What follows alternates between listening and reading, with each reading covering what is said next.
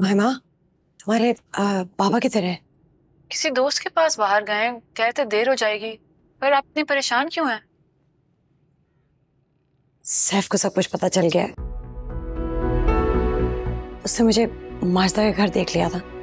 What लेकिन मामा आपने तो कहा था कि आप सब ठीक कर देंगी। ये ठीक किया आपने?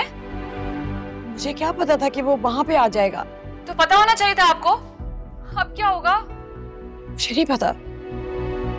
मेरा तो वो फ़ोन भी नहीं उठा रहा। अगर उसने एहसान को सब कुछ बता दिया तो कुछ नहीं बचेगा। मेरी ज़िंदगी से मोहब्बत का नामो निशान हटाकर। अभी भी आपको अपनी पड़ी है।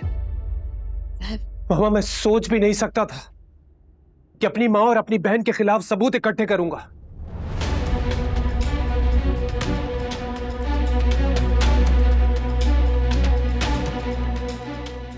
सैफ सैफ मेरा लैपटॉप छोड़ो इसे। किसी की पर्सनल चीज़ें ऐसे हाथ नहीं लगा पर्सनल चीज़ें माय फॉल्ट तुमने मेरी पूरी ज़िंदगी बर्बाद कर दी।